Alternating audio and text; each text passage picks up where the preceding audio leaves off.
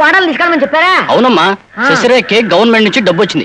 ఆ డబ్బు మనకి ఇస్తామని రమ్మన్నారు. ఆహా, అయితే నువ్వు వెంటనే బజార్కి వెళ్ళి అతి తక్కువ ఖరీదులో పట్టుచీర పట్టుకురా.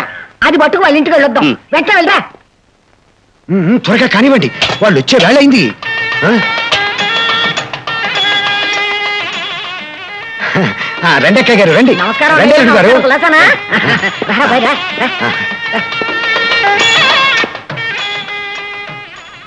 ఆ మోగుతున్న మేళాలు నీకోసమే. కూర్చోండి అక్కయ్య గారు. ఏర్పాట్లన్నీ ఘనంగానే చేశారు. ఏమైనా మీ మామగారు గొప్ప మనసురా అబ్బాయి?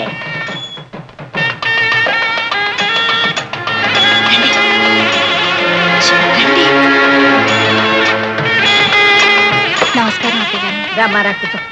అయ్యో అయ్యో ఇదేమిటి ఇలా చిక్కిపోయింది మా కోడల పిల్ల అన్నయ్య గారు? అత్తింటి మీద దిగులతో అలా అయిపోయిందేమోనమ్మా. చూడమ్మా మా కోడల్ని మా ఇంటికి తీసుకెడుతున్నాము అని మీ ఊరు ఊరందరికీ తెలియడం కోసం పెట్టించాను ఈ మేడం ఎలా ఉంది? మోతగా ఉంది. ఏమిటి మేడమా కాదు మీ ఐడియాస్. దాని ఉందిలే అమ్మా. చూడండి అన్నయ్య గారు ఇదిగో మమ్మల్ని కాఫీలు టిఫిన్లు భోజనాలను మళ్ళీ ఇబ్బంది పెట్టకుండా.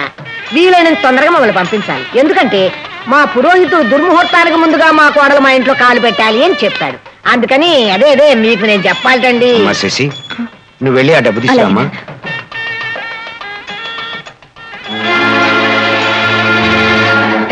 నమస్కారం పిండి గారు. కులాసగా ఉన్నారా? కులాసే. త్వరగా త్వరగా రమ్మనమ్మా మళ్ళీ దుర్ముహూర్తం వచ్చేస్తుంది త్వరగా.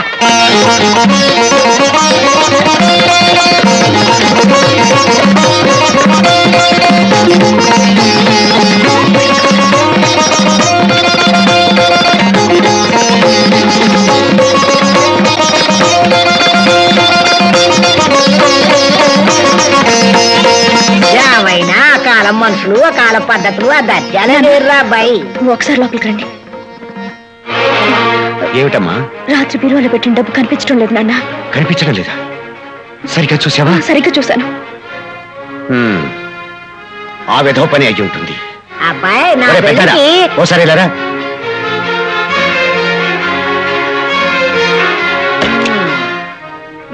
నాయనా ఒక కళ్ళు ఒక కళ్ళు లోపల పోతున్నా. మళ్ళీ డబ్బు గిబ్బు లేదంటారా? ఏంటి వీళ్ళమ్మ కడుపులు మాడా? అన్నయ్య చిన్నప్పుడు నాన్న జేబులో డబ్బులు దొంగతనం చేశావు.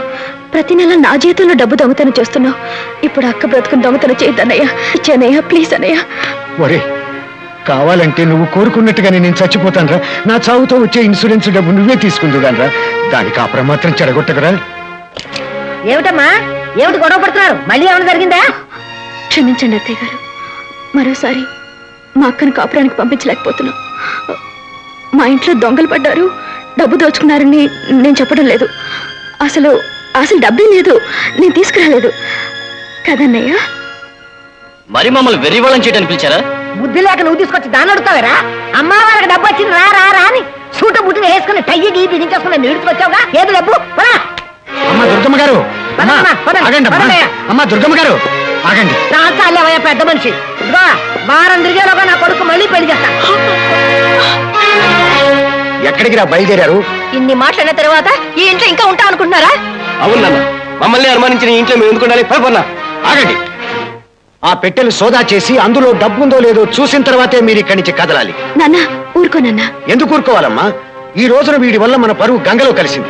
తెరవరా పెట్టెదరు వద్దు నాన్న తెరవద్దు. ఈ పెట్టెలో డబ్బుంది.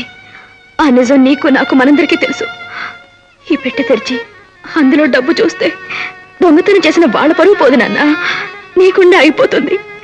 ఇన్నాళ్ళు నీ బిడ్డల్ని పెంచిన పెంపకం మీద నీకే అసహ్య వేసి చచ్చిపోతావు. వెళ్ళిపోయి నాన్న.